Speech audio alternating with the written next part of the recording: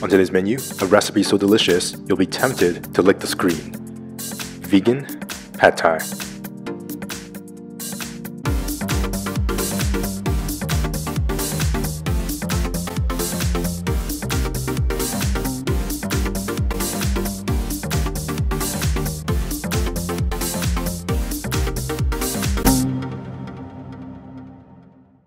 Lei Ho Ma everyone, I'm Will Yeung. Did you know that I have a Kickstarter project for the first ever vegan ramen cookbook?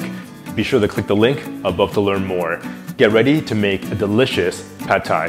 Preheat your oven to 375. Dry your extra firm tofu with a paper towel. Slice.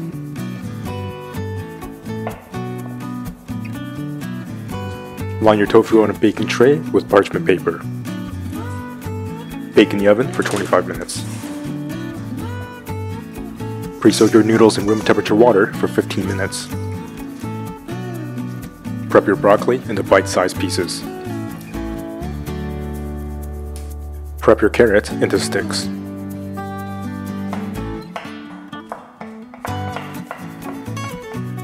Shallot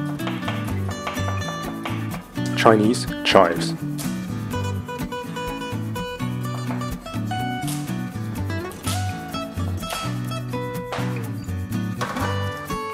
This way the tofu has this incredible outer layer and it won't fall apart when you go to stir fry it. You can always do this ahead of time so your tofu is ready to go. Medium high heat, olive oil, shallot,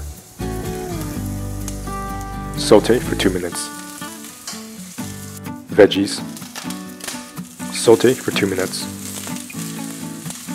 tofu, saute for 1 minute, set the veggies aside. Turn the heat to medium, 2 tablespoons cane sugar, 2 tablespoons tamarind paste, 2 tablespoons lime juice, 3 tablespoons soy sauce, 1 cup water. Stir to dissolve the tamarind paste, chives, veggies, noodles. Stir in the noodles for 3 to 5 minutes.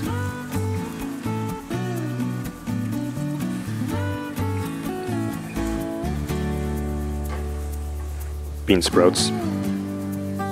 Turn the heat off and give it a stir. Plate.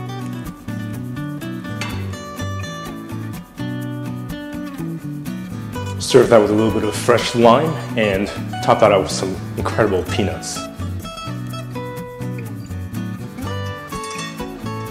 You can now make this delicious pad thai with absolute confidence.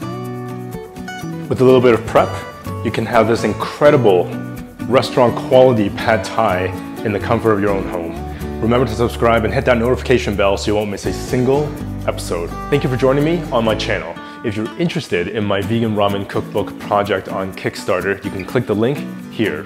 Remember to subscribe, hit that notification bell, and I'll see you in the next episode.